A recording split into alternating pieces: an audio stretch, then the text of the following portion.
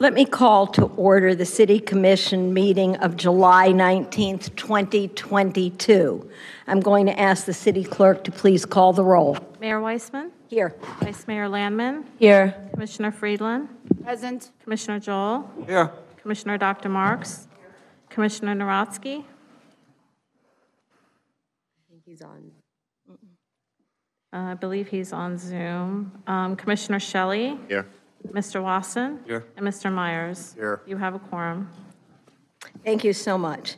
Can we all please rise? And former Commissioner Weinberg, can I ask you to please lead us in the Pledge of Allegiance?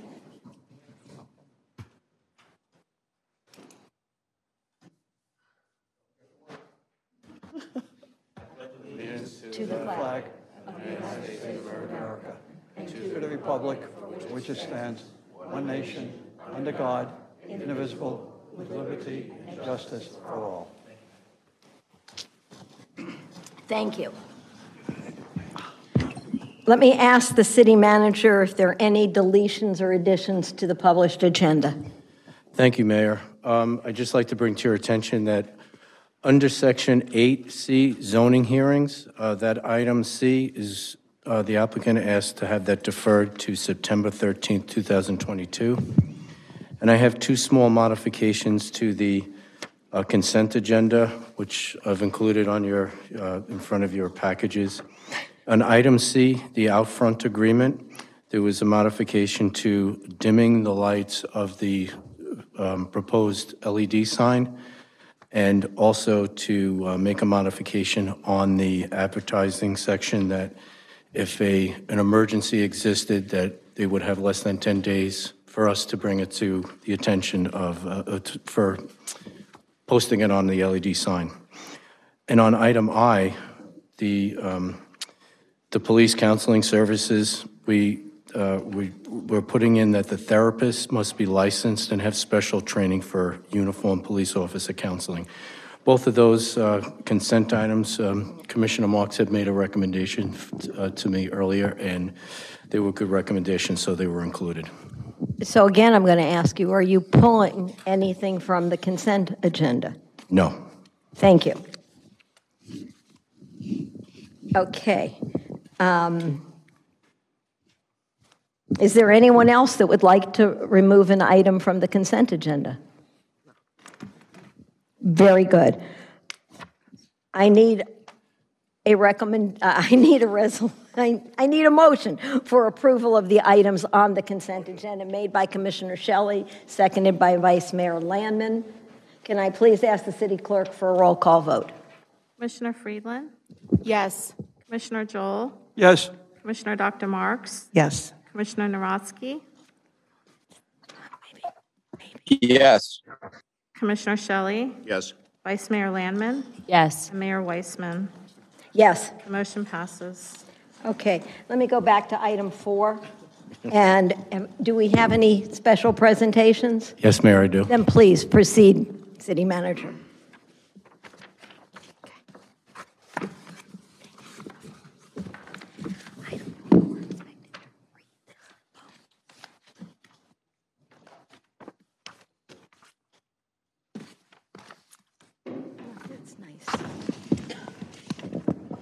Evening, everyone. I would like you to meet Detective Michael Leoncini, who I've had the pleasure of knowing over the last four years. Uh, This detective has started his career in 1980, a long time ago, in an old uh, city not far from here, Hollywood. Spent a little time in Golden Beach, and then finally saw the light and came to Aventura in 2002. Uh, I meet Mike often on the elevator, and uh, it's a pretty much a running, a running joke in the department. Every day is his birthday, so it's a regular, it's a regular occurrence. You know, just recently I received an email from somebody about the detectives in Aventura and, and the great work they did, and the, and the person was just very thankful for the job and that they did and, and helped them put somebody away for four years for, for uh, stealing their identity. Mike is part of that group of people that we're very fortunate to have that work here that really go above and beyond uh, for the residents. I worked in New York City Police Department for many years, And I can tell you, you guys are right there and some of the best I've ever worked with, so I Oh, thank you wanna- very much. I'd like to offer you this. Thank you. Thank you, sir.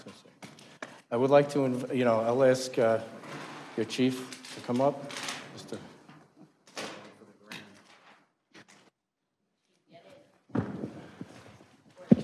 Hey. Oh, he gets to say. I get to say a couple words?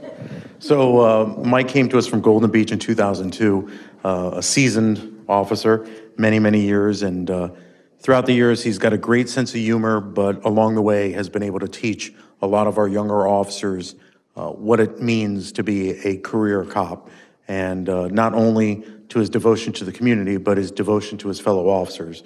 And um, most of us or all of us are his coworkers, but all of us are your friends as well. And um, it's been a great relationship. You've you've had a great time here. We loved you here. Uh, you can stay as long as you want. And uh, I just want to be one of the first tonight to wish you a happy birthday. Happy birthday. Thanks, Chief.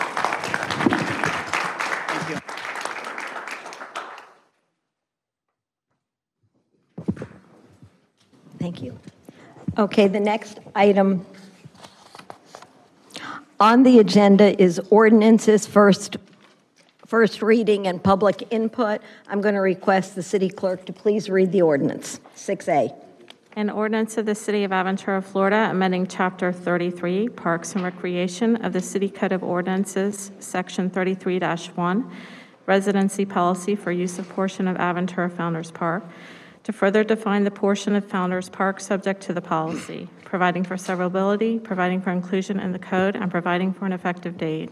Can I have a motion for approval of the ordinance? Made by Commissioner Friedland, seconded by Commissioner Joel. I'm going to request the city manager to review this item, please. Thank you, Mayor. This ordinance change will extend the Founder's Park residency requirement to Founder's Park South, where we are currently uh, underway in designing new tennis and pickleball courts. Uh, This would make sure that any resident from Aventura would be able to sign up and have access to those courts. And uh, in the past, it wasn't, it didn't extend to that side of the street, so this is addressing those needs. Anyone have any questions, comments? Okay, can I have a motion for approval of the ordinance? Made by Vice Mayor Landman, seconded by Commissioner Shelley. Um, No questions, I'll open it to public comment. Anyone from the public wish to address us on this item? Please come forward.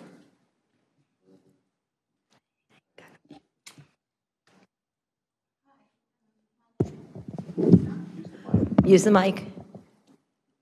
Your name and address, please.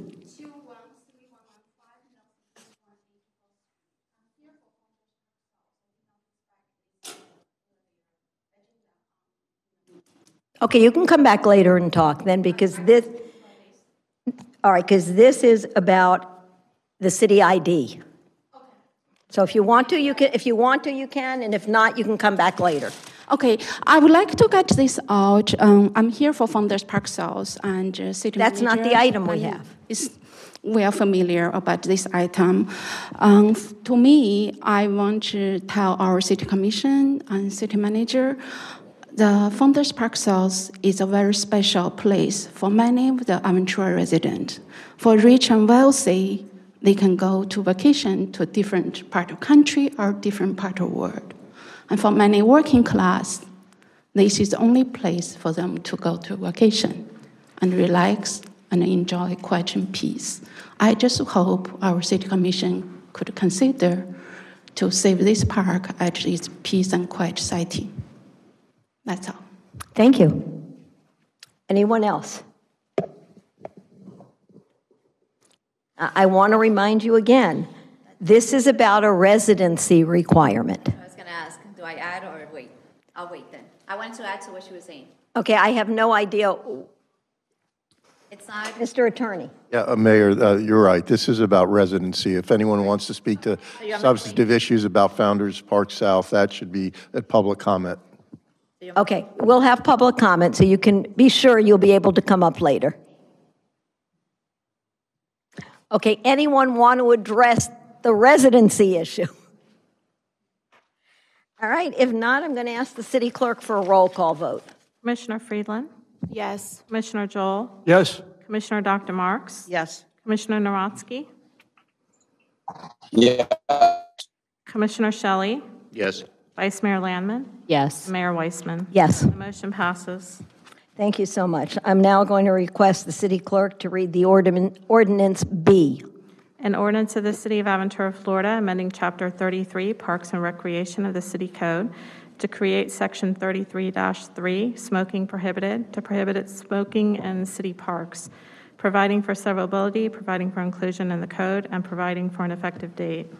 Can I please have a motion for approval of this ordinance made by Commissioner Friedland, seconded by Vice Mayor Landman? I'm going to request the city attorney to review the item.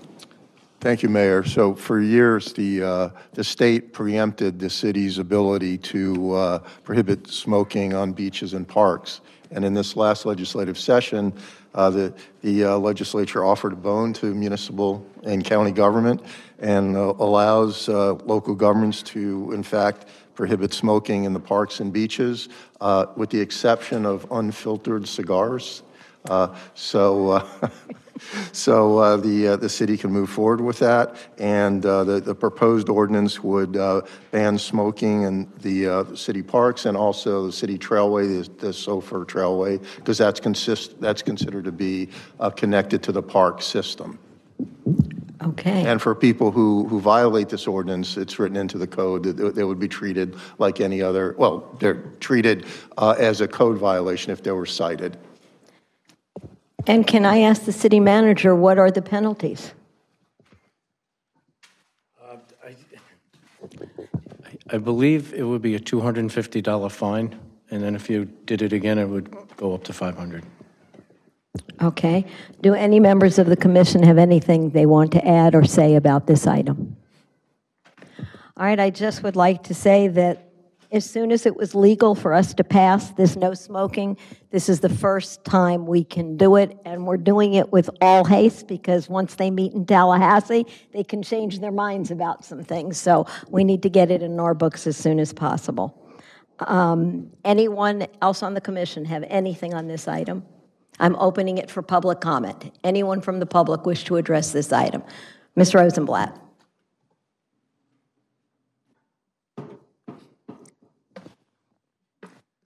Marge Rosenblatt, 19333 West Country Club Drive, Aventura, Florida, 33180. Excuse me, did I hear you correctly? Unfiltered cigars are going to be allowed? By state law, By state law. by state law. Is there That, any? that was written into the statute. I'm shocked. Again, still. Is there anything that the commission can do as far as when the legislature goes back in session? For me, um, he- we'll always keep our eye on it, but you can be sure by the way it was written, there were powers that be that lobbied very hard for that to get in this portion of, of the legislature. So we will keep our eye on it. I think we're the first city to take advantage of it because it really just came out. The governor just signed it, I think, a week or two ago. That's Two correct. weeks ago. Thank you. So it, it is what it is, but we'll take every step in the right direction we can get, and we won't let perfect spoil good. Okay, if there's no one else from the public that wishes to speak, I'm going to close it for public comment and ask the city clerk for a roll call vote. Commissioner Friedland, Yes. Commissioner Joel, Yes. Commissioner Dr. Marks, Yes. Commissioner Narotsky, Yes. Commissioner Shelley, Yes. Vice Mayor Landman, Yes. Mayor Weissman. Yes, Motion passes. thank you so much. I'm going to request that you please read ordinance C.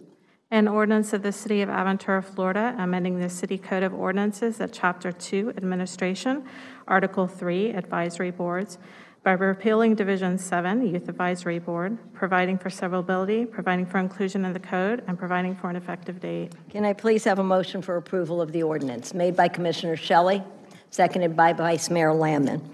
I'm going to request the city attorney to please review this item. Uh, Thank you, Mayor. So uh, this item would uh, repeal the Youth Advisory Board. Uh, The city commission by charter has the authority to create and dissolve advisory boards. And uh, by exercising this authority, the uh, Youth Advisory Board would no longer exist after the, uh, after the uh, second reading of the ordinance. Uh, In its place, which you've approved by consent, is a youth council. Uh, And the reason, I guess, to why it's important, at least in my opinion, to re- repeal the Youth Advisory Board and create a, a less formal youth council is because the, the state ethics rules and sunshine law that apply to all government advisory boards include a board consisting of minors. And it just doesn't seem to make sense to have such, uh, such restrictions on a board composed of, of minors. So with that, uh, the commission has the authority to repeal this particular board. Thank you so much, and thank you for your work on the item. Anyone in the commission want to address this item? Vice Mayor Landman? I just want to reiterate that although we're dissolving the council, we're, uh, the advisory board, we're creating a council, so our youth will continue to be involved and they'll have a place and they'll be active. It's just, it will be, uh, you know, uh, uh, an easy, yeah, slightly modified and more appropriate for the youth who are involved in our community. Thank you. Anybody else on the commission? Anyone from the public wish to address this item? All right, I'm going to close it to public comment, and I'm going to ask the city clerk for a roll call vote. Commissioner Friedland? Yes. Commissioner Joel? Yes. Commissioner Dr. Marks? Yes. Commissioner Narotsky? Yes. Commissioner Shelley? Vice Mayor Landman? Yes. And Mayor Weissman? Yes. Motion passes. Thank you so much. I'm going to request that you now read ordinance labeled D. Aventura City Commission, acting in its capacity as the governing board for the Aventura City of Excellence School, ACES. An ordinance of the City Commission of the City of Aventura, Florida, amending ordinance number 2021-05, which adopted a charter school operating and capital budget for the Aventura City of Excellence School for fiscal year 2021-2022, July 1 to June 30, by revising that 2021-2022 fiscal year budget document as outlined in Exhibit A attached here too, authorizing the city manager to do all things necessary to carry out the aims of this ordinance and providing for an effective date. Thank you. Can I please ask for a motion for approval of the ordinance made by Commissioner Joel, seconded by Commissioner Friedland? I'm, prior to asking the city manager to review the item, I spent a great, great deal of time on it, and I really want to thank um, our budget department chief, Melissa Cruz, for the amount of time and effort you put into making this budget. I really and truly appreciate it. City manager, will you please review the item? Thank you, Mayor. Uh, We amend the bu- year-end budget for ACES at, uh, once a year. This year, the amount was $1,772,887, of which $1,552,664 were uh, all related to federally, federal funds from ESSER grants, which was to be reimbursed to the city for educational services, additional teachers, and training. The rest of the adjustment or, or, or um, year-end adjustment is for transportation-related services, for having bus monitors on the buses, and uh, repairs and maintenance in $140,000. Most of that cost was due to painting of the school. Every year, we paint uh, ACES um, at the end of the year, beginning for the next year. Uh, The $140,000 actually represents two years of painting. Uh, Last year's painting and this year's painting all hit this year, so that's the, uh, the the lion's share of the $140,000. Okay, anybody on the commission have any comments or questions? Anyone from the public wish to address this item? Seeing that there's no one who wants to address it, I'm going to close it for public comment and ask the city clerk for a roll call vote. Commissioner Friedland? Yes. Commissioner Joel? Yes. Commissioner Dr. Marks? Yes. Commissioner Narotsky? Yes. Commissioner Shelley? Yes. Vice Mayor Landman? Yes. And Mayor Weissman? Yes. Motion passes. Thank you. The next on, item on our agenda is item number seven, ordinances, second reading and public hearings. I'm going to request the city clerk to read the first ordinance. An ordinance of the City of Aventura, Florida, adopting the 2021 Evaluation and Appraisal Report-based amendments to the City of Aventura Comprehensive Plan, authorizing transmittal to review agencies, providing for severability, and providing for an effective date. Thank you. Can I please have a motion for the approval of the ordinance?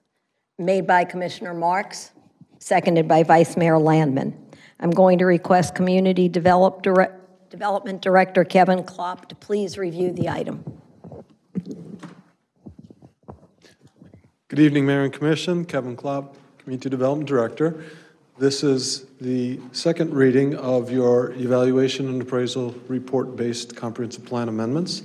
Uh, You may recall that uh, you adopted the amendments on first reading in April, and those amendments are based upon a report that was done the previous year, which has to be done every seven years in order to uh, ensure that the city's comprehensive plan remains compliant with state statutes.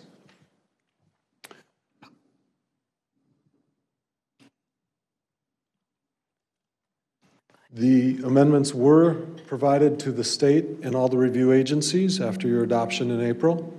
We did receive comments back with some uh, requests for some additional changes to ensure that our revisions uh, are compliant with statutes. Nothing we were uh, concerned about doesn't impact uh, the policies to any great extent. Um, And we did review those in a recent workshop meeting. The actual uh, amendments, uh, it's important to note, are uh, really very much based upon sea level rise and climate change and concerned about that, identifying our vulnerabilities, and coming up with policies uh, aimed at reducing, reducing our risk. Uh, And they're listed here for you, uh, hard infrastructure strategies as well as policy strategies. The other part of the element that, or the other part of the amendments that we had to do was adopt a property rights element, uh, adding a chapter specifically about uh, ensuring that your land use decisions and all decisions are made uh, with respect for property rights and people's rights to participate in those decisions. So we request that you would adopt those amendments uh, as revised uh, between first and second reading to make the state requirements. Uh, The next steps is we will provide those amendments to the state. We've already previewed them with the state. We're confident that they will be found in compliance.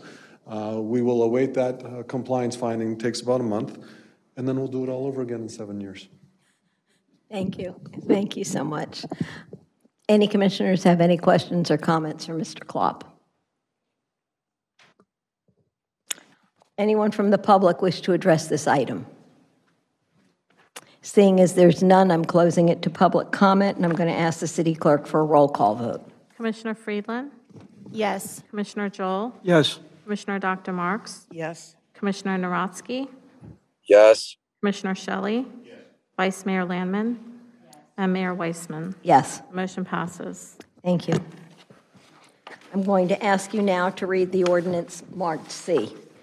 An ordinance of the C- City of Aventura, Florida, amending Section 31-143 residential zoning districts of the city's land development regulations to permit buildings in the RMF4 zoning district to cast shadows on properties located in business zoning districts upon conditional use approval, providing for severability, providing for inclusion in the code, and providing for an effective date. Can I ask for a motion for approval of the ordinance? Made by Commissioner Friedland, seconded by Commissioner Joel. I'm going to request the city manager to please review this item.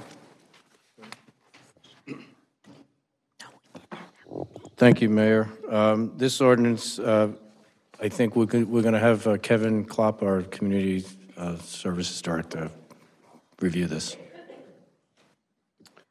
Thank you. Uh, This is second reading of an ordinance that would uh, change the zoning code uh, slightly to allow uh, a conditional use, meaning the city commission would still be able to uh, see each of these applications on a one-by-one basis.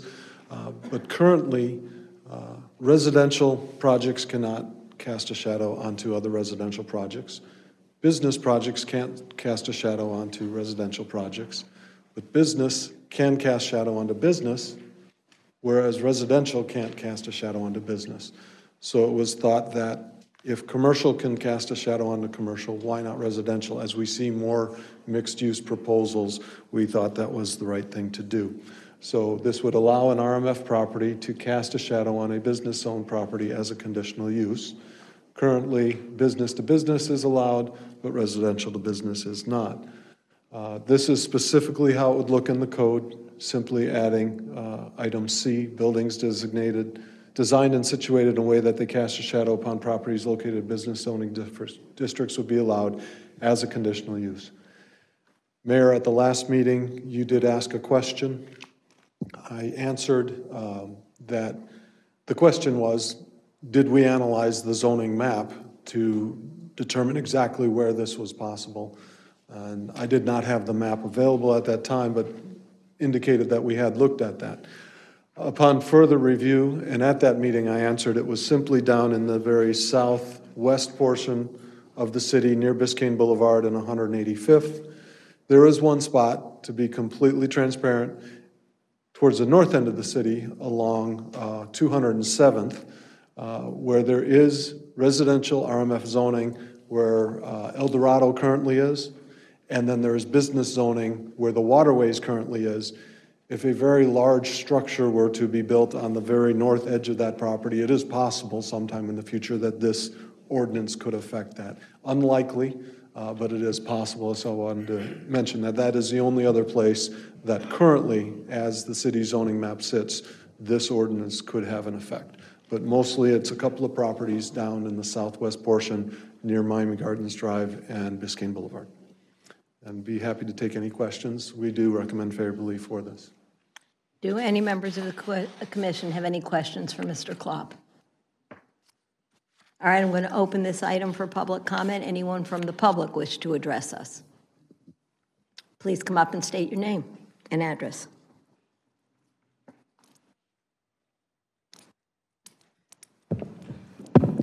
Good evening, Sue Wang, 3115 Northeast 184th Street. I'm here, want to comment on this new proposed multifamily development on 183rd Street, if I'm not mistaken. And I live in Village by the Bay, uh, next to Peninsula on William Island. Um, winter times, it takes 30 to 40 minutes to get out, just cross Biscayne Boulevard. I just want to know, do we have a plan? How do we, the resident could easily get out and come home? Okay, I have, I have to interrupt you. We're Yes. speaking about item B, and that's all at this time I can let you address, is item B. I thought we talk about development 183rd Street. Mr. Attorney, I don't think that's on this item. No, that's not on this item. Sorry, apologies. This is about shadows. Thank you. All right, once, is there anyone else who would like to talk to this item? Please come up, state your name and address.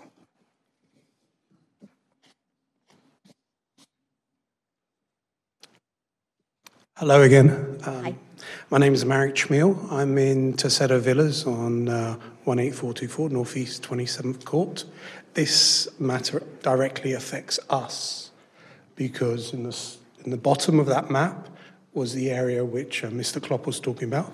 There's a 300-foot building being proposed right in the middle of next to two old people's homes and our townhouses, and shadowing will be a big problem there.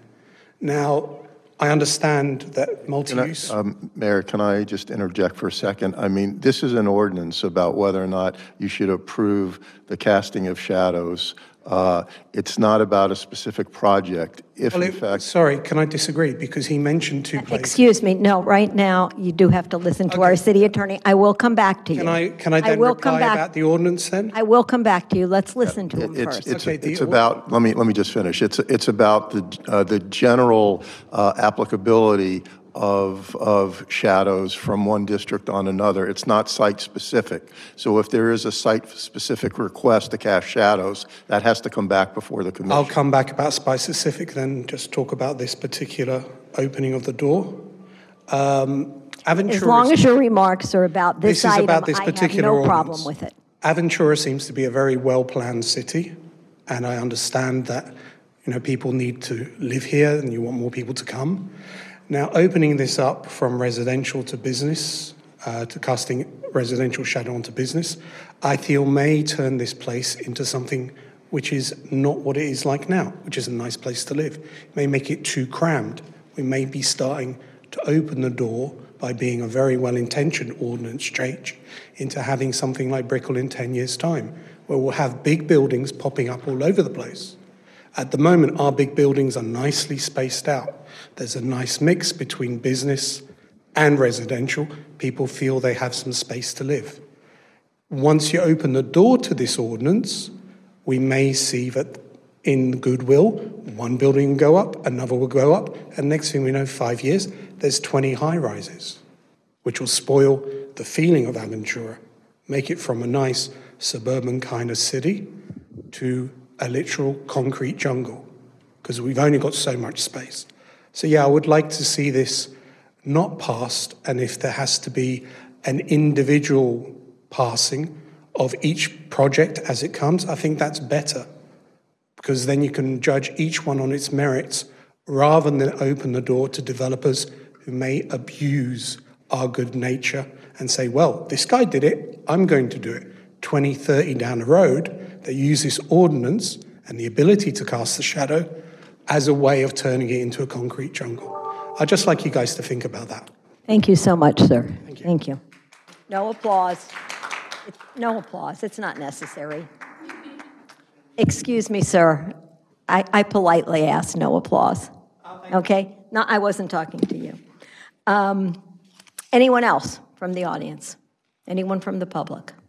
All right, then I'm going to close it to public comment, and I'm going to ask the city clerk for a roll call vote. Commissioner Friedland? Yes. Commissioner Joel? Yes. Commissioner Dr. Marks? Yes. Commissioner Narotsky? Yes. Commissioner Shelley? Vice Mayor Landman? Yes. And Mayor Weisman? Yes. Motion passes. Thank you so much.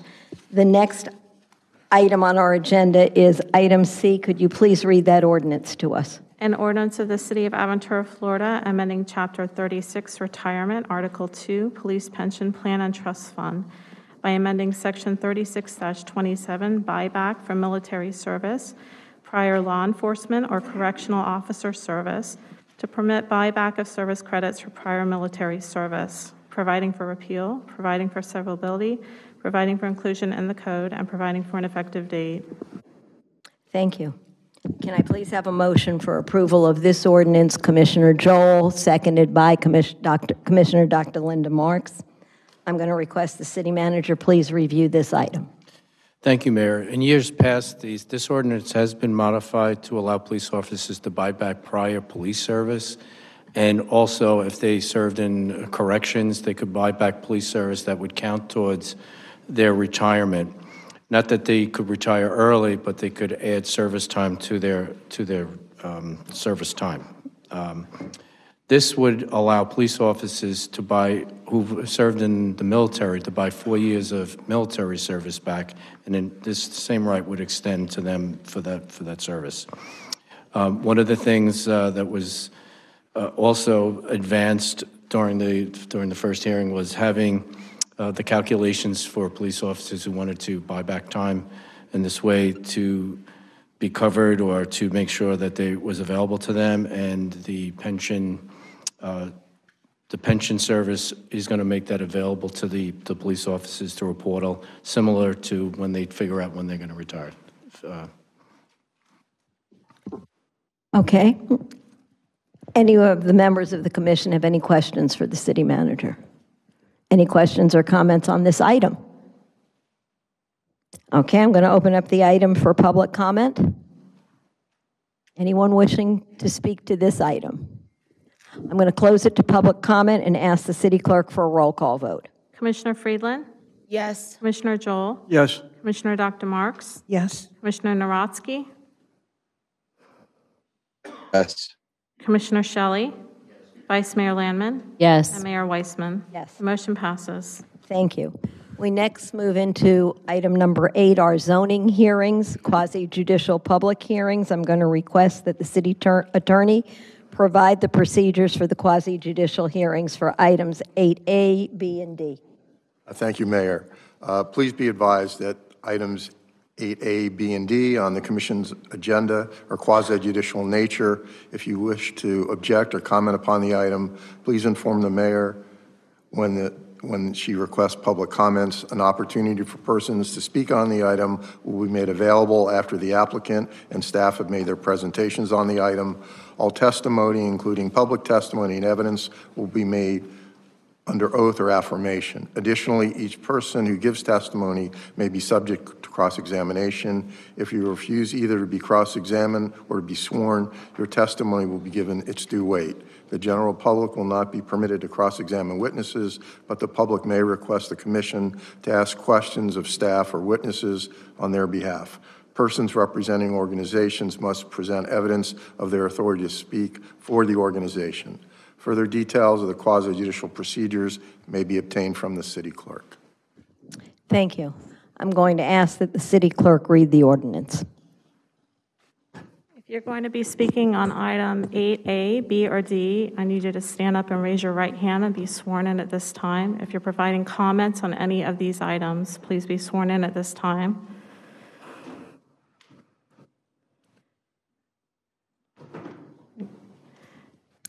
Do you solemnly swear or affirm the testimony you're about to give is the truth, the whole truth, and nothing but the truth, so help you God? Thank you. I, um, Can I have a motion for approval of the ordinance made by Commissioner Shelley, seconded by Com- Vice Mayor Landman? I'm going to request Community Development Director Kevin Klopp to please review the item. Thank you, Mayor. As you heard, this is a request for a future land use map change that's changing the comprehensive plan for the city. It's a 1.55 acre parcel. Just a Mayor, little bit can I of just background. Jack, for a second? Uh, There wasn't a reading of the ordinance. The clerk didn't read the ordinance into the Oh, I'm record. sorry. Yeah.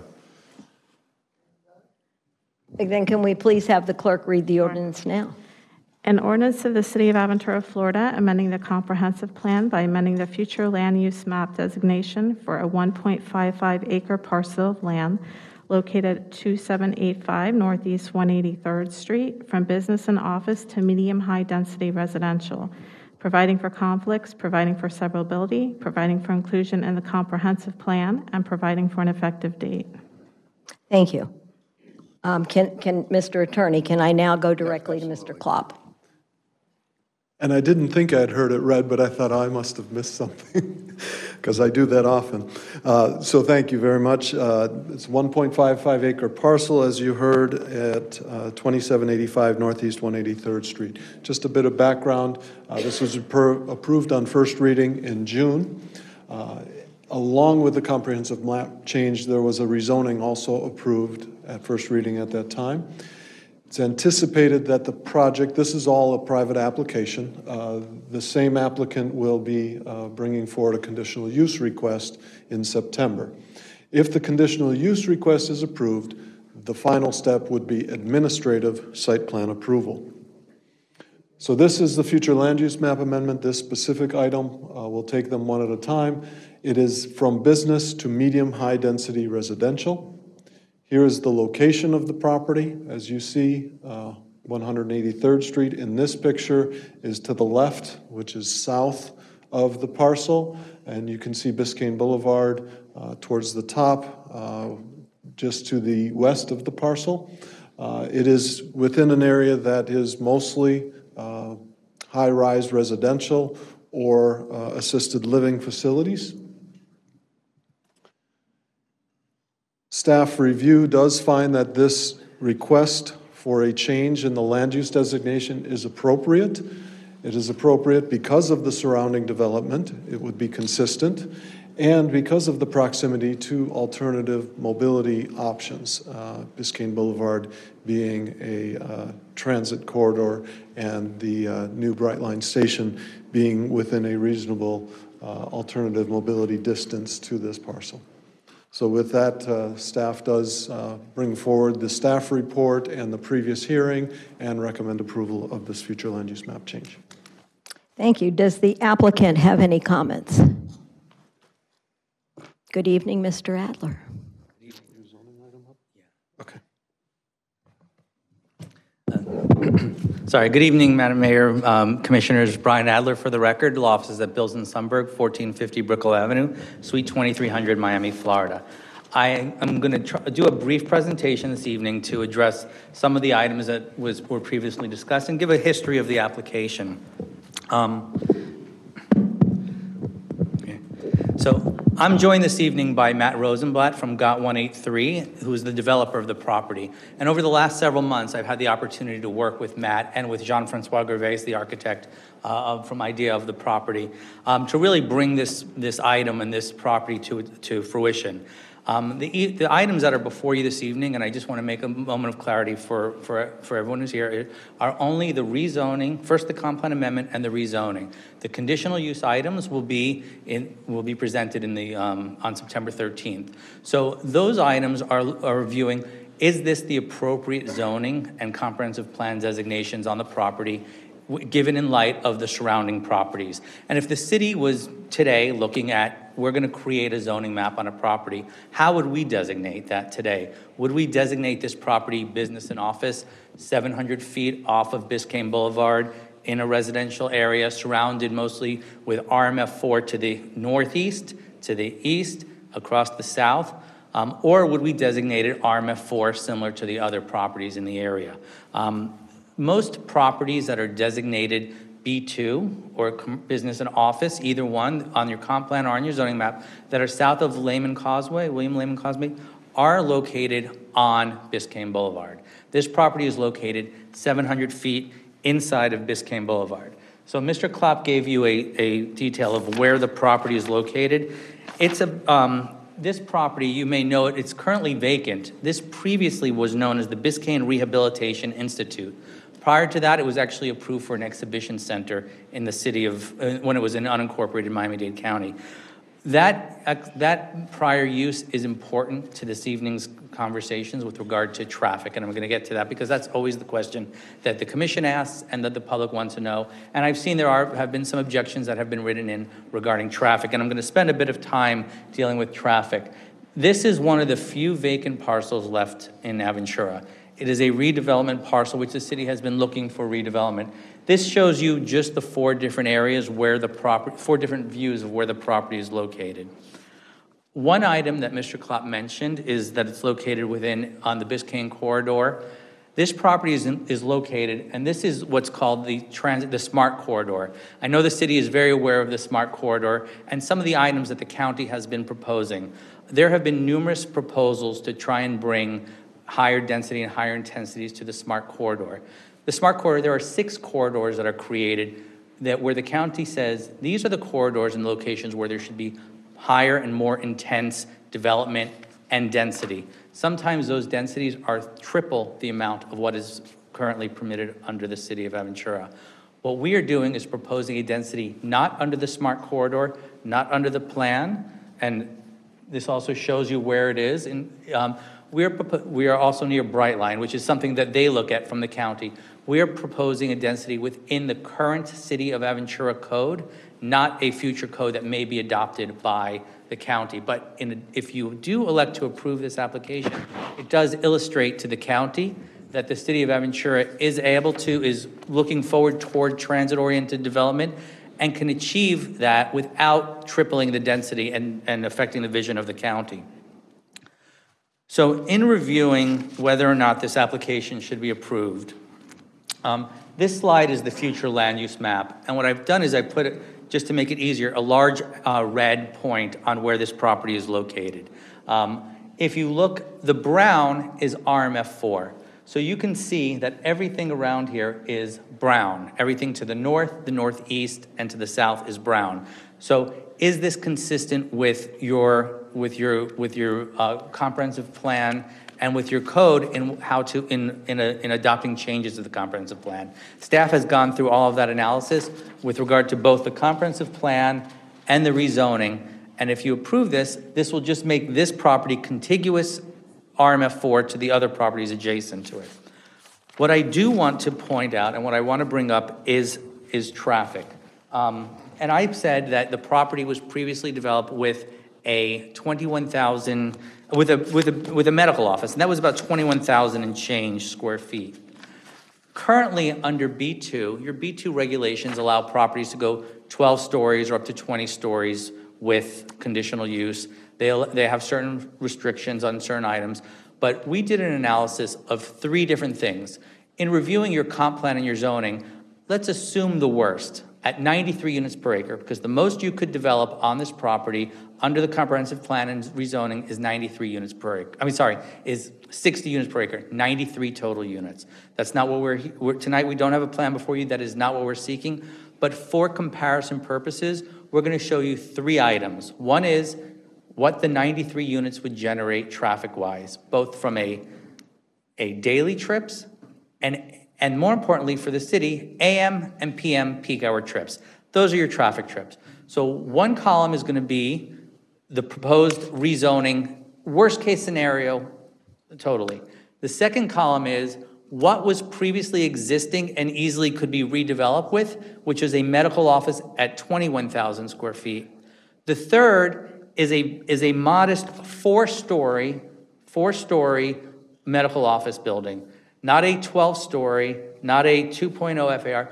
If we were to do a four story medical office building, which can fit on that property with parking um, at 130, uh, I think it was about 138,000 square feet, and what those traffic would generate. I've got three different charts up, and I'm actually going to look at my charts because it's hard to see. Yeah. So on your screen is this chart, okay? On the left side is what I want to go to. The far left, if you look below, there's a legend. On the far left of the left side of the screen, residential at 93 total units, 60 units per acre, the absolute max we could seek and that the city could ever grant under conditional use currently. Then the next, that's the dark, the black column. The darker green is the 21,837 square foot medical office building. That is what was there immediately prior to demolition. Those were the trips that were, and the reason I'm showing you is those were the trips that were actually on the road. So what we're proposing, you'll see that we are lower in total daily trips than what was actually there before. So we're replacing a more intense use with a less intense use. The third column, which is the light green, is a 43,800, sorry, I made, I said 138,000, that's the maximum that could be a 43,800 square foot, four story building medical office that can be approved administratively with, without coming to hearing is, a, is, and meet all the requirements under the code. That would produce the left the, the light green column on the left side. So you can see 691 total, 790, or current zoning, modest building, 1,689 without conditional uses, without anything else. The right screen has two columns. One is your AM and one is your PM peak hour. These are what's important to the city. At 93 units, we'll create 30, again, maximum number of units that could even be asked for. It's not what we're seeking. 37 trips, um, AM trips, 45 PM trips. You compare that to the previous existing 58 and 82, or what we could do as of right, 109 or 168 AM and PM peak hour trips. So the current zoning today would put three to four times the amount of AM and PM peak hour traffic than the rezoning at its maximum development could.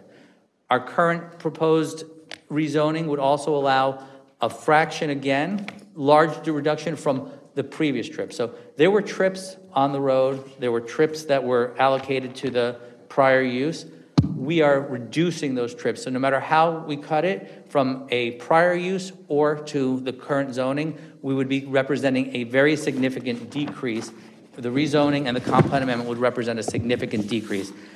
That is why in, in reviewing, we submitted our letter of intent, but staff has also, staff is, is charged with reviewing your code. You have professional staff. They've reviewed your code and they've analyzed each and every criteria for granting both a comprehensive plan amendment and for granting a rezoning amendment.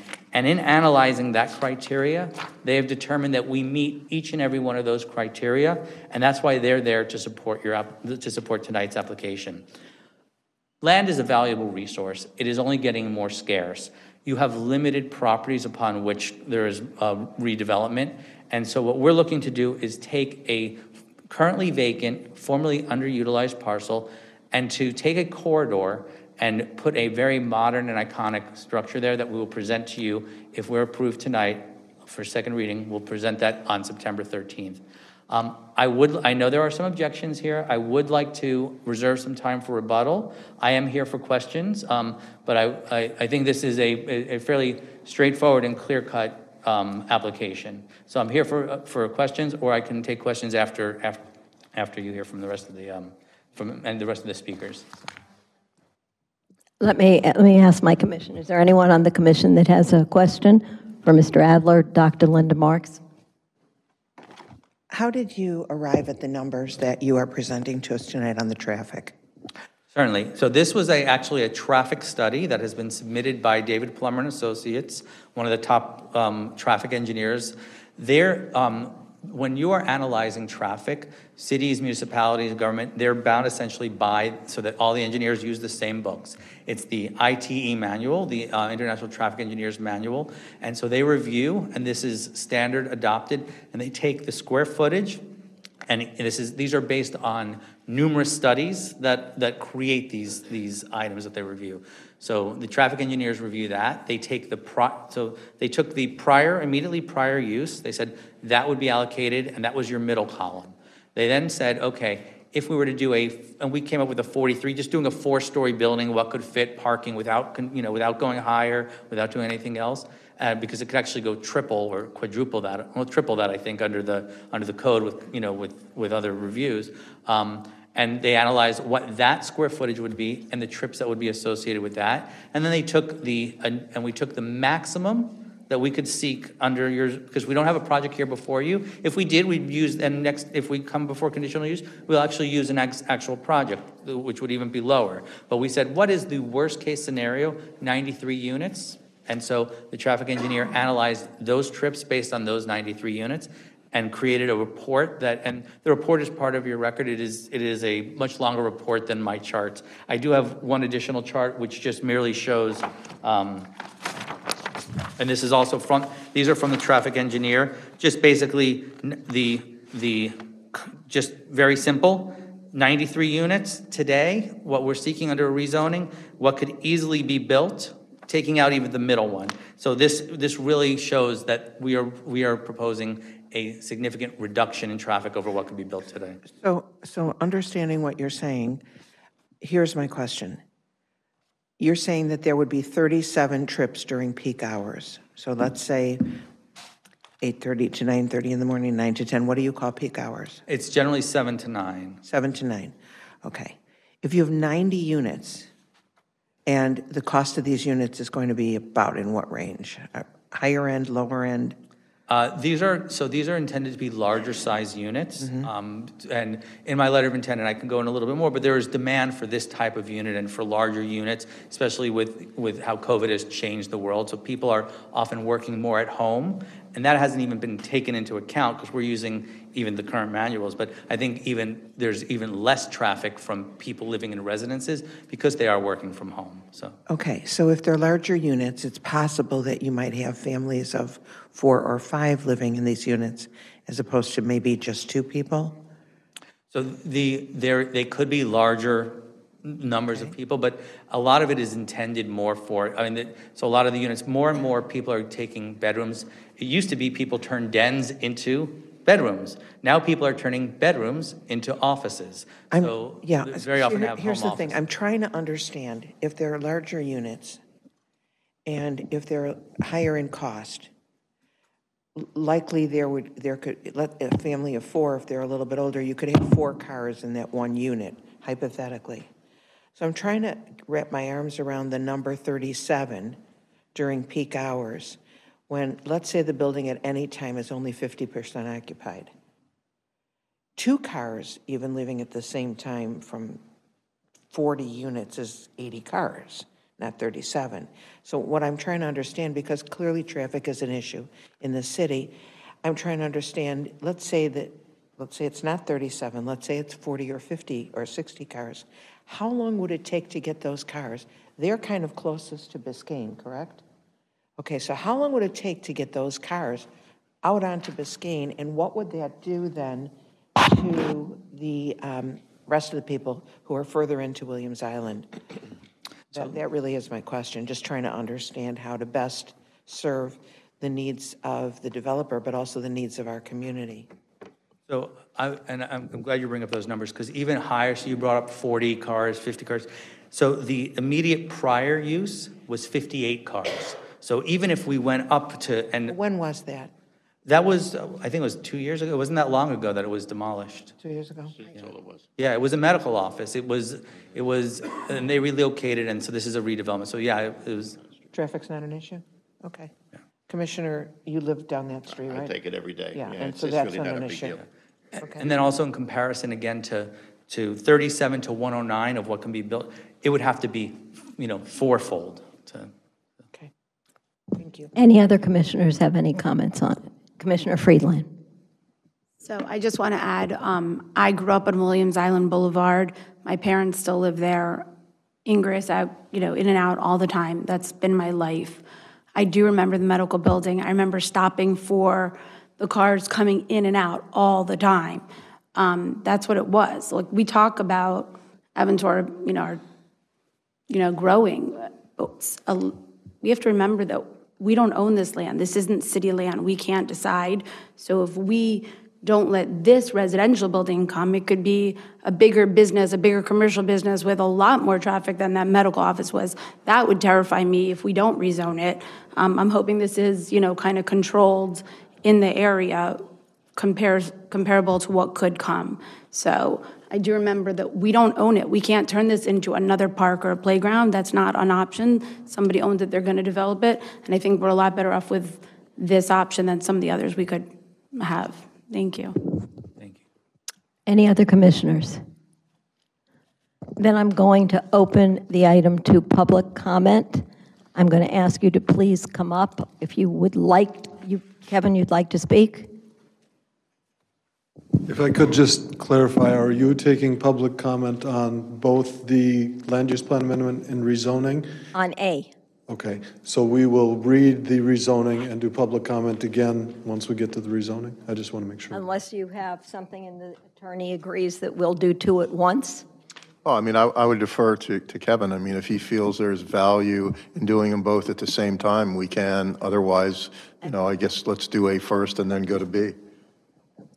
I think the only value is then the, co- the public will be All right, speaking so as then if to- I'm hearing correctly, we're going to defer public comment until we've covered the second item. And do them together, is that what you're saying? Yeah, I think, so I think what Kevin's saying is, so we'll read B into the record, and then if the commission has any questions about B, the commission can ask those questions, and then uh, after Kevin we'll presents take B. public and then we'll comment take- on both On A both A and and B. B, right. Right.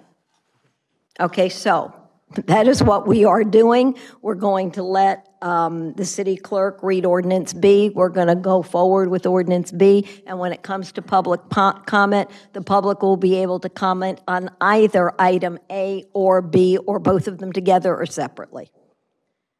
An ordinance of the City of Aventura, Florida, amending the official zoning map of the City of Aventura by amending the zoning designation from B2 Community Business District to RMF4 Multifamily High Density Residential for a 1.55 acre parcel of land located at 2785 Northeast 183rd Street, providing for severability, providing for inclusion in the code, and providing for an effective date.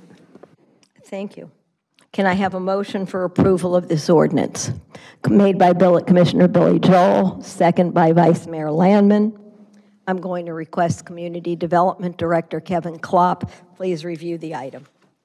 Thank you, Mayor, and thank you for the opportunity to do that. I think this will be helpful for us to all uh, comment all at once.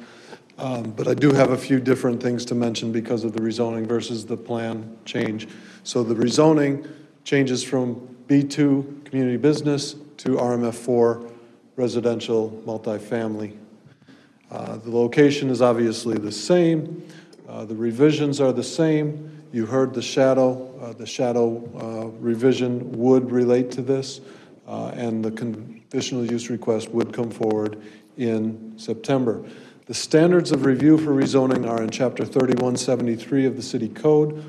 As you heard Mr. Adler say, all seven standards are met. In general, this would be consistent with the comprehensive plan if you amend it, and even if you don't, it is uh, consistent with the policies about traffic, uh, transportation, et cetera. Public facilities are all available to serve the parcel, uh, provides for orderly development in character with the neighborhood. And I think that's the most important part of that, is this rezoning would be in character with the surrounding properties. The site is vacant, uh, having, as you heard, the prior development been demolished a couple of years ago. Uh, Commercial development under existing zoning would generate a higher traffic level, as you just heard, and I agree with that analysis uh, that you heard. What I wanted to mention is this is only a 1.55 acre parcel. So on a regional perspective, regardless of what you do, development of this parcel isn't going to significantly change the level of service in the area. It, it is not a major traffic generator. It is only 1.55 acres. And with that, uh, I would uh, request or uh, recommend approval. I did have to uh, add one thing to the record. The ordinance as it currently reads says it would be effective immediately. That should be effective upon the state finding our comprehensive plan amendment in compliance. It Takes about 31 days, but technically, the rezoning cannot be effective until the state finds the comp plan amendment uh, in compliance. Thank you. Okay, do commissioners have any comments or questions for Mr. Klopp? Seeing as there are none, then I think I'm right in saying I'm going to open the public comment. Unless the applicant wants to comment on uh, Mr. Klopp's presentation or make his own presentation on B. Thank you. Go right ahead. And for the record, again, Brian Adler, law offices at Bilzin Sumberg, 1450 Brickell Avenue, Suite 2300. I only want to incorporate my, for the record, I have to incorporate my prior presentation by, by, by this statement into this item. So, okay, thank you. Thank you. Um, I do have one question before I open to public comment. So, Mr. Klopp, you're telling us that this proposal would give us less cars on the road, less vehicular traffic? Potentially, Significantly? yes. Potentially less traffic. Well, I don't know what, I don't know. I saw charts with numbers on them. So. Correct. I agree with that. numbers? Yes, they are potential, numbers. as what Mr. Adler said was, the 93 units is the maximum residential density that could go on this parcel, and so his numbers were potential numbers, not actual numbers. And the other two buildings that it was compared with? Were commercial buildings, We were would be using much higher. actual numbers. Correct. And you're saying that indeed this would, pro- this would um, have less vehicular traffic? Correct. Okay. Then I'm going to open it to public comment. If you wish to address the commission, please come up, you can form a line, state your name and your address, and you have three minutes.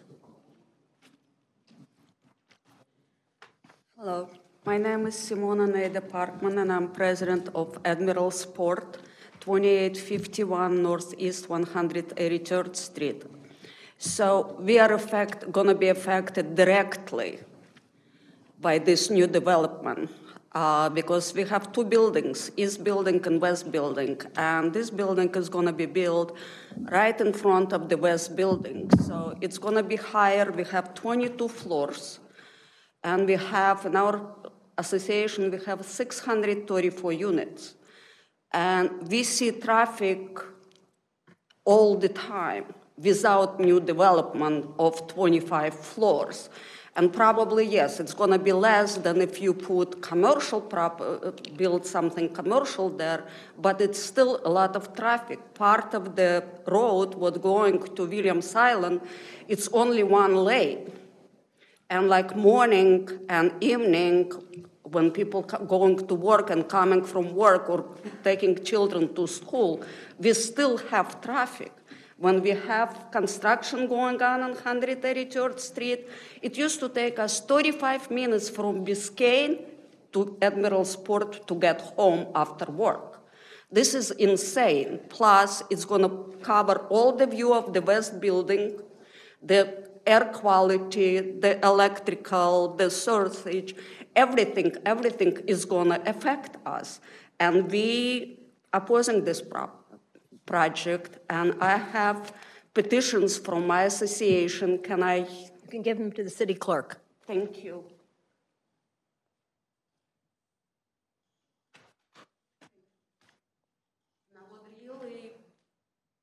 Our community really asks you to look really hard in this.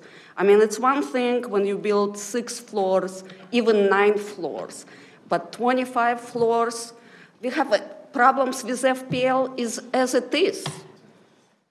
So how you gonna correct all these issues and give us more, less traffic and more comfortable life with new development? Okay, I gotta tell you, this is your time to Oh, I'm speak. sorry. It's not about asking questions. sorry. So please, go ahead. So that's what we would like to know, and we need your help because it's a big community, It's peninsula. It's Williams Island. We're all gonna be affected by this. Thank you. Thank you.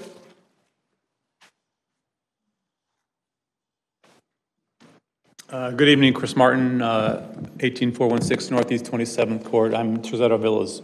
Uh, So just to make a comment on the uh, comment from the city development manager, uh, where he said it's kind of characteristic with the neighboring area. Um, I would disagree with that because this proposed zoning would allow a building up 295 feet, uh, even higher if you throw in the elevator. Um, That's way taller than anything else. And if you look at the map, our little property, which is two stories tall or three stories tall, is surrounded on two sides by this property. So it is definitely going to be uh, overshadowed physically and metaphorically with this property. It is not in co- concert with our little neighborhood we have there. So 295 is crazy tall for that particular area. And you look at any other building in the area, I challenge you to find a building that tall. Secondly, I also would like to just comment that this particular zoning request uh, is tied to a particular property, the Tal property. Um, Their prop, and all the numbers they were giving is based upon a certain design, height and number of units per floor, et cetera, et cetera. Um, So we are, we- you guys are all thinking about the property in mind when we're having this zoning conversation. That property uh, specifically is going to cause problems for both the old age home as well as our particular property. And I know that particular notice was taken up for two months from now, so we'll be back. But their current design can't fly, or it won't, it won't fly. So I think this is a bit of a moot point because they have to go back to the drawing board from what I con- consider the truth uh, and come back with a different design because they can't do it the way it is. So, thank you. Thank you.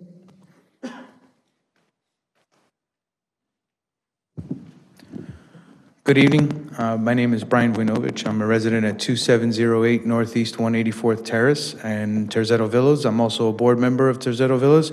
Um, I'm speaking here tonight to oppose uh, the current proposed development uh, for reason number one being it's completely out of scale with our neighborhood. The current zoning uh, allowment for this area, if I'm not mistaken, is for nine stories and 135,000 square feet. And the developer is proposing more than double by going to 290,000 square feet and 25 stories. And if you look at the um, Admiral's Port, the Commodore, the two retirement communities, the new development that's being developed by Harry Gross on 185th and tw- uh, 28th Court, uh, which is 17 stories. None of them come close to the height of this building, and it is completely out of scale for this part of Aventura. Um, With that being said, we have a a substantial issue in that part of town with FPL and the substation. Um, We are the first to lose power in Aventura, and we are the last to get power back. I lose power in my home on average once per quarter, where it flickers on and off, and it takes a while to come back on. And that happens in Terzetto Villas, at the Lubavitch uh, Synagogue, at the temple, and um, our surrounding uh, neighbors. And this building is going to propose, is going to impede on the current power grid in the area, and it's a huge liability for us. Um, And lastly, I'd like to contest the shadow study that's been provided. Completely inaccurate, in my opinion. I think that um, it needs to be addressed and looked at further. I emailed everybody on this panel and this commission and, and your honor mayor, um, pointing out the exact details as to how it's wrong, how the sun is not being accounted for on December 20th at the right degree, at the right angle, um, and then i it's completely inaccurate. And, you know, I moved to Aventura because I don't want to live in Brickell. I don't want to live in a high density construction zone, and I work in development. And I think that the approval of this building without any concessions for the benefit to the community would be an abomination to our neighborhood and to our community. I thank you for your time and consideration.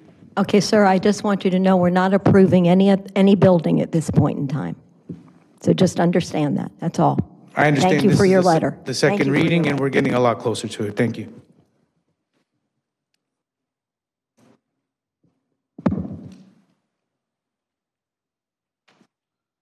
Hi, my name is Brianna Sporer. I live at 18407 Northeast 27th Court. Um, I'm also opposed to uh, both A and B. Um, you know, one, this is the building will be more than double the size of the building currently allowed by the zoning. It's going to stand at 315 feet, and as one of the gentlemen before me mentioned, that I also live in Terrazota video, Villas, and on two sides it will absolutely tower over us. Uh, it will shadow the area um, and really, um, you know, affect our community that's only at three uh, stories tall. Um, it, and it should be closer to the adjacent residential properties allowed uh, in the current zoning.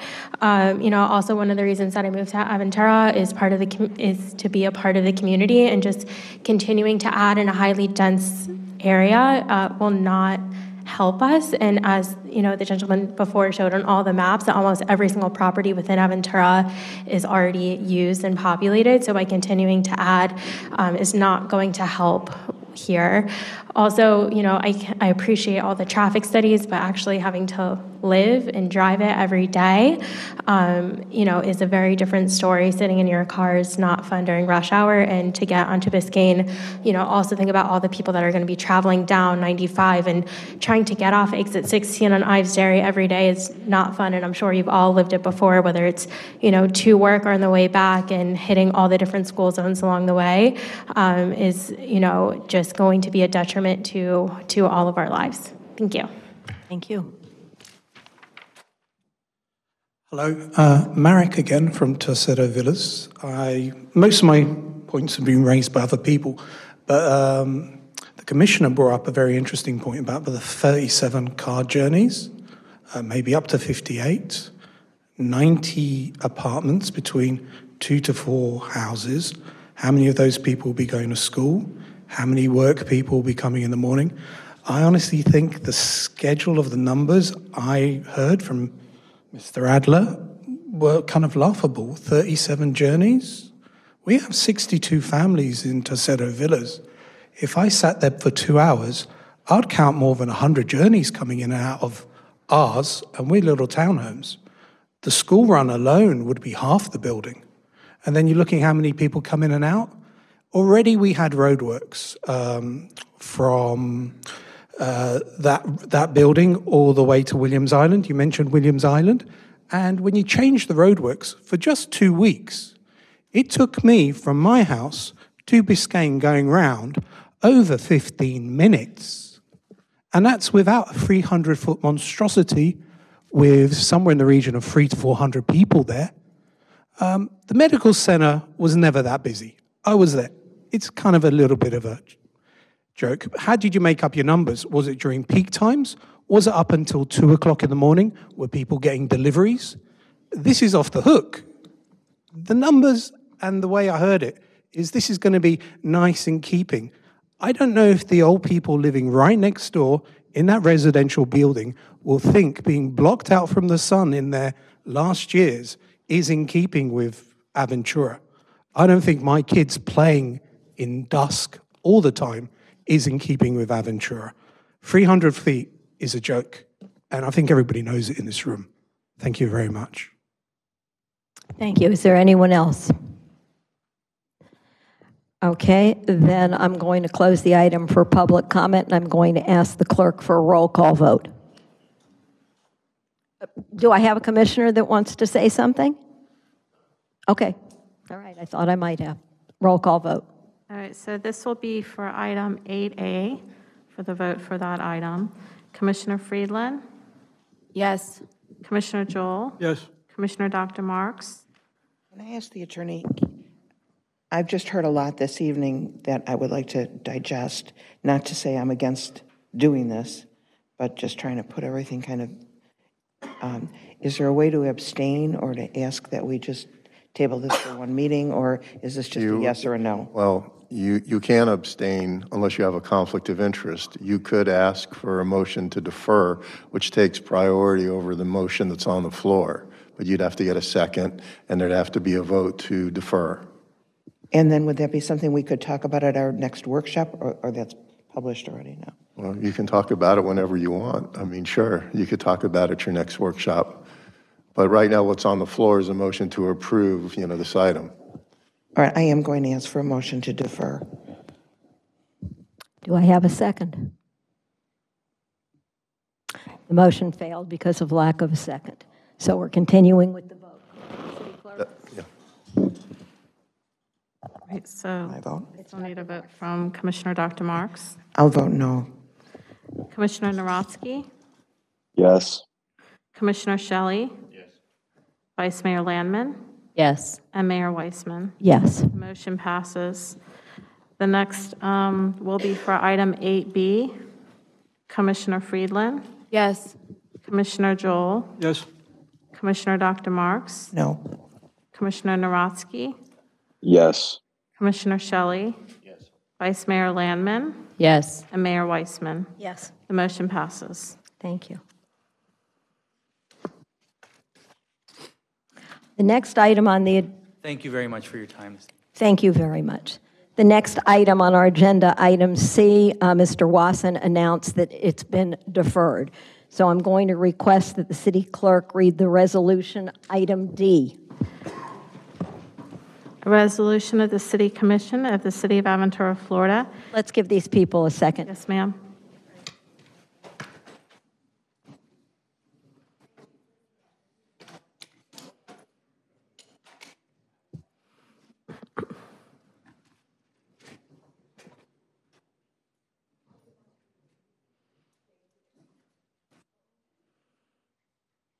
Okay. Resolution of the City Commission of the City of Aventura, Florida, granting conditional use approval pursuant to Section 31-144C2G of the City Code of Ordinances to permit a bowling facility in Esplanade Aventura located at 19505 Biscayne Boulevard, tenant space 3290, and providing for an effective date. Um, Let me have a motion for approval of this item, made by Commissioner Friedland, seconded by Vice Mayor Landman. I'm going to request Community Development Director Kevin Klopp to please review the item with us. Thank you, Mayor. Very briefly, this is a conditional use request, as you heard, to allow what we call commercial recreation. A bowling alley is considered commercial recreation, and the commission reserves the right to approve that as a conditional use. Pinstripe, Pinstripes is essentially a restaurant with some bowling alleys as a uh, additional uh, amenity within their uh, restaurant. I do have just a couple of pictures. They sent very many very nice pictures, uh, but this is from the outside. This is at Esplanade, where Sears uh, previously was located. Um, and this is just a picture of the interior. It's a nice family-style restaurant, and it does have some bowling alleys uh, as something that you can do to entertain yourself while you're at the restaurant. Uh, we recommend favorably. The only reason, again, this is before you is because bowling requires your approval. The applicant is here if you have any questions for them. Would the applicant like to address the commission?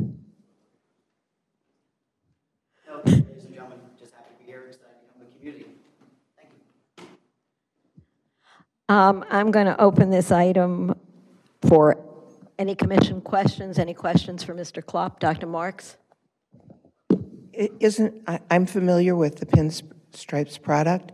Aren't you, are you going to have bocce ball in there too? Yes.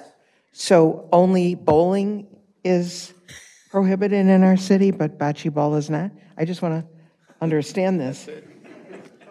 I don't know. Okay, I didn't then. think our city had a bowling alley in. It's a, gr- it's a great facility. It's a great facility. And I'm surprised they didn't bring it to a workshop, so we could have discussed it. It's under construction, so we wanted to get in front of you as soon as possible. I certainly hope you're not telling the truth. No, it- How could it be under construction if we haven't given our approval? Esplanade is under oh, construction. Oh. Esplanade's been And under they have construction signed for a pin- long time. Yeah, and they have signed pinstripes as a tenant. And so before they went any further, we wanted to make sure that the bowling part of the restaurant was going to be allowed. Commissioner Friedland. Well, like, as the mayor said, you know, we do like to see these properties at the workshops, so we have an idea. But from the picture I just saw, it's only four bowling alleys. Is that the intention, or is it more than that? Four lanes. Four lanes? I'm hoping it's more than four lanes, just understand that. I just want to know. Yes. Couldn't tell from uh, the picture. For this property, we'll have 12 bowling lanes. They'll all be similarly paired, just like that. It'll take up approximately 30% of the third floor of our venue, but it's right next to a beautiful out, or bar, a patio outside for 80 plus, and then two main ballrooms where we'll be able to hold events for wedding receptions, birthday party, corporate dinners. So uh, that's just the third floor. That's not even the first floor with the restaurant for 150 or so, another bar, and another private dining room for about 20. And so I- I'm just pondering, are we then going to be asked for approval of a liquor license? No? no? Okay, good. Oh, they don't? We're in the clear. There's to a school, yeah. Okay. Um, Anyone else on the commission want to comment or question? Okay, I'm closing it to our comment. Does anyone from the public wish to address the commission on this item? Seeing as there's none, I'm going to close the item for public comment and ask the clerk for a roll call vote. Do you want to speak? Uh, I was just going to introduce myself. My name is Mitch Meller, the Director of Expansion with Pinstripes, just for the record. Great. Pleasure to meet you. Thank you. Commissioner Friedland? Yes. Commissioner Joel? Yes. Commissioner Dr. Marks? Yes. Commissioner Narotsky? Yes. Commissioner Shelley? Vice Mayor Landman? Yes. And Mayor Weisman? Yes. The motion passes. Thank you. Uh, The next item on the agenda is resolution and public input. I'm going to request that the city clerk read the item nine. A resolution of the City Commission of the City of Aventura, Florida, accepting and adopting in principle, subject to annual revision and authorization, the City of Aventura Capital Improvement Program document for fiscal year 2022-23 to 2026-27, authorizing the city manager to do all things necessary to carry out the aims of this resolution and providing for an effective date. Can I have a motion for approval of this resolution? Made by Commissioner Joel, seconded by Commissioner Shelley. I'm going to request the city manager review this item. Thank you, Mayor. Uh, The city each year passes a five-year capital improvement plan or program, and it's a way for the city to look to the future, to plan for development, replace um, equipment, and to placehold things that we look or might do in the future. Each year, the most important year of the plan is the, the first year of the plan. It gives us the ability to operate, and maintain our city parks, our transportation services, provide equipment for these various departments, um, all different things, maintaining uh, all our government buildings that you see in the city, uh, streets and repaving, it it funds our landscaping, and generally the overall condition of the city. Uh, Some of the things that we, some of the highlights this year, um, In the parks, we'll be doing some security enhancements. We're replacing a shade, sh- a shade shelter, um, soccer nets, benches, trash cans, some LED lighting in the, in the uh, parks. Uh, We'll do some crosswalk enhancements. We'll replace some of the bikes of our bike share if they, if they need it. It also covers all our contractual services, landscaping, uh, busing, our freebie or on-demand services, TV maintenance, to just to name some of the things that this, this uh, budget covers. Okay, are there any questions? I'm going to open it to public comment. Does the public wish to address this item? Seeing there's none, I'm going to close it to public comment. And I'll ask the clerk for a roll call vote. Commissioner Friedland? Yes. Commissioner Joel? Yes. Commissioner Dr. Marks? Yes. Commissioner Narotsky? Yes. Commissioner Shelley? Vice Mayor Landman? Yes. And Mayor Weisman? Yes. The motion passes. Thank you so much. That means, brings us to item 10 in reports. And I would just like to report to the public that state school grades have come out and that both ACES and Soffer High School are both A schools. Yeah, I agree. Anyone else from the commission have a report or something too? All right, then we're open for public comments. Anyone from the public who wishes to come and speak before us, please state your name and address and be aware that you have three minutes. Hello, my name is Sandy Brockwork. I live at 20940 Northeast 37th Avenue here in beautiful Aventura. First of all, thank you for allowing me to speak, and definitely thank you all for your service. From my last visit, I'm aware that this is not a time for question and answer dialogue. Therefore, I will not ask a question. However, I would like to make a suggestion or two. But first, a little background. I'm sure you're aware that there is quite an uproar nationwide regarding the placement of pickleball courts in or near residential communities. Nationwide, there have been multiple instances of residents complaining of too much noise created by pickleball when the courts are placed too close to people's homes. I'd like to make the following suggestions. I'd like to suggest that the city create specific rules and guidelines regarding the placement of pickleball courts in residential neighborhoods, taking into account both the wants and desires of the players and the concerns of nearby residents. I do think it is this city's duty to regulate these type of, of installations when they will impact the ability for residents living near the courts to enjoy time on their property in a peaceful and quiet manner without a nuisance. The research seems pretty clear that placing a pickleball court within 100 feet of a person's home would have serious negative effects for that homeowner. Both the property values and the quality of life will be negatively impacted. Creating rules and regulations that serve everyone's interest would be a great way to avoid the pitfalls that other cities have been facing. Many communities have had to address these alleged, excuse me, alleged noise and nuisance violations, but after the fact. And this has, unfortunately, at times ended up in litigation. Perhaps the city would want to uh, explore solutions before this becomes an issue. Second, if you agree that you should look into this, perhaps a temporary moratorium can be put in place to stop the building of any new pickleball courts near, excuse me, near or in private communities until such time as the city creates and institutes rules and regulations for such. And lastly, another suggestion would be in order to com- avoid conflicts between communities, I suggest that the issuance of any permits being requested for the installation of pickleball courts in a residential neighborhood be given a duly noticed public hearing to allow nearby residents to express their concerns. Lastly, and this is really important, I am not against pickleball. In fact, I'm pretty sure that at some time I'm going to become a player. But the placement of courts cannot be at the expense of neighboring, neighboring properties. Finally, I would respectfully ask that these comments be included in part of the minutes for this meeting. Thank you very much for your time.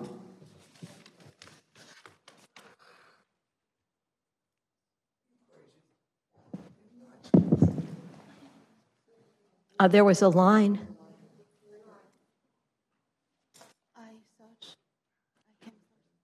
I, I wasn't, I, I don't watch people in line, so it's up to the line. If they want you to go, it was stated, please get in the line.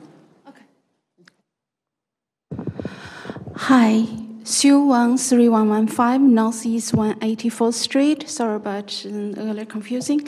I'm here still talk about Founders Park South. I have said the park is very dear for many local residents and for many rich and, rich and wealthy, they could go different state, different part, different countries. And for many of us, this is the only place for us to vacation. And many working people cannot go away due to work and families this is a place. And also, this last gentleman had a good point. For pickleball court, we do have to consider it's not too close to our residence. And uh, I previously I had suggested we could have built some of those at Founders North, which is furthest from any residential building, or we could have built some at veterans, as many residential buildings away from it. I just hope our city commission and uh, could reconsider the decision, and uh, we all have a nice community to enjoy. Thank you. Thank you.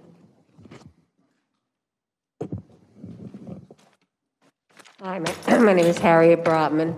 I live at 21050 Northeast 38th Avenue. And I want to talk about pickleball. And as you know, pickleball is the hottest sport in the country. Every city has pickleball courts except Aventura. And Aventura is supposed to be called the city of excellence. So let's live up to our name. Let's be excellent. Anyway, I understand that the money was already appropriated, I think. And I understand the courts have to be near the tennis courts for maintenance in Founders Park, if I'm not mistaken. And um, well, the flower beds that are nearby, that are provided by the city, will have to be moved, and you guys are going to take the expense of moving the flowers and the vegetables, which I think is very nice of you. And I know it's summertime and many people are absent that would have come, and if you look around, that most of us want pickleball courts soon. And just again, Aventura is the city of excellence. Let's live up to its name. Thank you.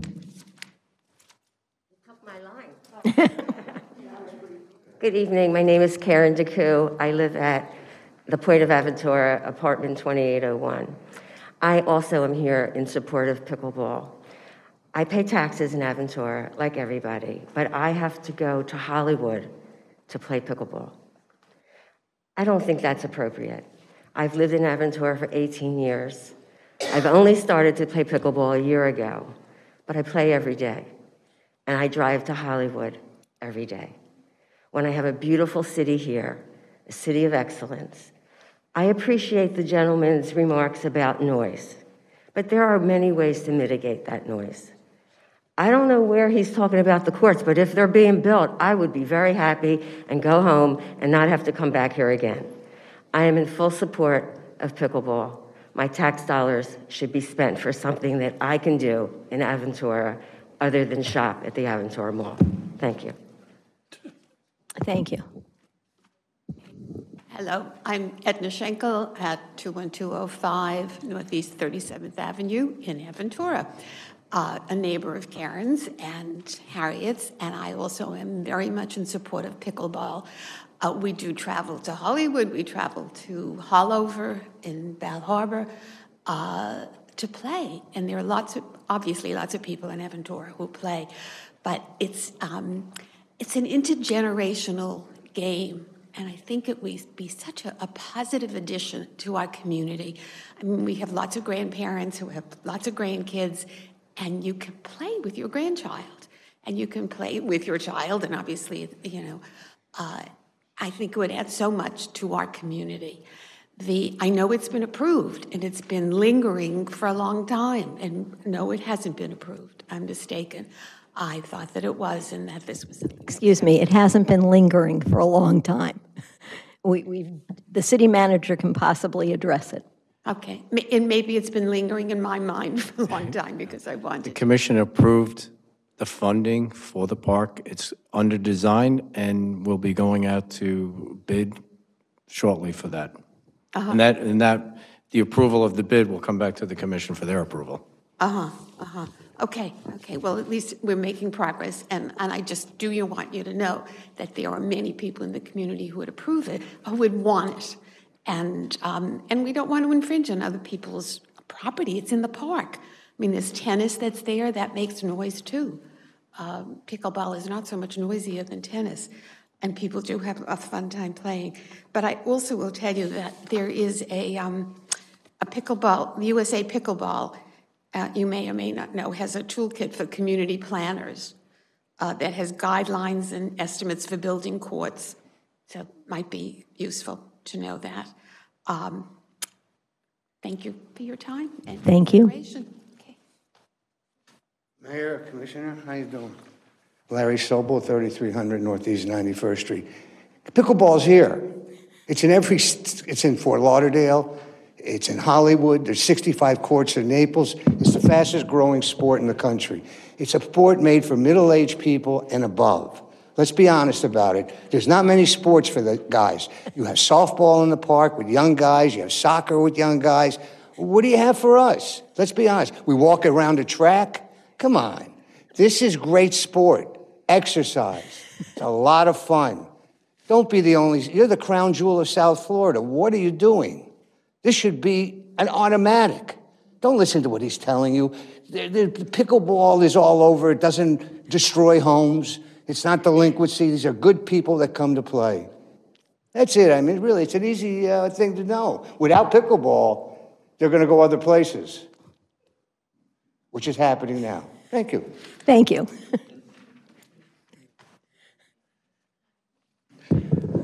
Good evening. I'm sorry I'm not talking about pickleball. Uh, my name is Jordan Owens. I'm currently residing in Miami Gardens, so my address isn't within your guys' areas, but it is 151 Northeast 209th Terrace. I am a application designer for mobile apps, so on your phone, and a user experience builder. Um, with that being said, sure, I have plenty of ideas that can um, vastly cover a lot of different industries and markets, but um, I'm here to speak about a pretty decent concern when it comes to data. Um, scary enough, identity theft and um, data crimes cost Americans $50 billion a year. And I want to say crime in general is over $1 trillion. So that technically puts us under as Americans, frankly speaking. Um, so in my endeavors of building up my service capacity and a portfolio of items, being mobile applications, I want to extend some useful insight, possibly some services, to help with um, accounting for a lot of loss. Uh, with that being said, I want to present QR codes as a form of um, police measures or public safety measures to ensure that there is the ability to reach um, public safety in any time of concern. So uh, I think a good place to put something as vast of a project that I am comprehending this to be, like across, well, I don't know if we're close to Aventura now, but uh, the mall specifically. Um, but it's, like I said, something that covers a large area and can be very useful. But I just came to introduce myself, really. Thank you. Thank you.